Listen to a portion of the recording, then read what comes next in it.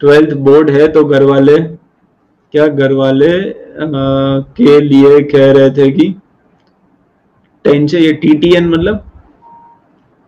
कह रहे थे कि टीटीएन के साथ ट्यूशन अच्छा ट्यूशन के साथ जेई लाइव डेली कैसे मैनेज करूँगा? ट्यूशन मतलब तुम स्कूल भी जाते हो, ट्यूशन भी जाते हो और कोचिंग भी है। कोचिंग के लिए जेई लाइव डेली। तो स्कूल प्लस ट्यूशन तो ट्यूशन जाने की ज़रूरत क्या है? मुझे तो ये नहीं समझ आया जब तुम यूट्यूब से पढ़ रहे हो तो ट्यूशन जाने की ज़रूरत नहीं, हटवा दो ये। ट्यूशन में क्या अलग से कुछ करवाते हैं क्या?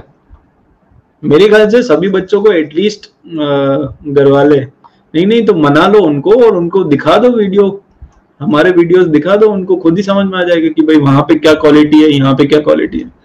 तो ऑब्वियसली मतलब स्कूल के साथ, मैं तो ये भी बोलता हूँ इनफैक्ट बच्चों को कि स्कूल का जो टाइम है, उसको भी मिनिमाइज करो। स्कूल में भी अगर आपका स्पोर्ट्स का कुछ होता है और ये सब होता है, कहीं ना कहीं तो सेक्रीफाइस करना ही पड़ेगा, देखो। अगर आप कुछ अचीव करना चाहते हो तो फिर आप ये नहीं बोल सकते कि, सर, मुझे स्कूल भी जाना है, मेरी तो डांस की क्लासेस भी होती है, मैं तो स्विमिंग सीखने भी जाता हूँ, मेरे ना वो सिंगिंग कंपटीशन भी चल रहे, मेरा ना ग्रुप डिबेट भी होता है। हाँ ऐसे बहुत बच्चे देखे मैंने। कहता, सर, मेरा स्कूल में डिबेट है। ठीक है डिबेट करेगा? तो आईआईटी कैसे करेगा? कोई एक चीज़ कर ले, या डिबेट कर ले, या आईआईटी कर ले।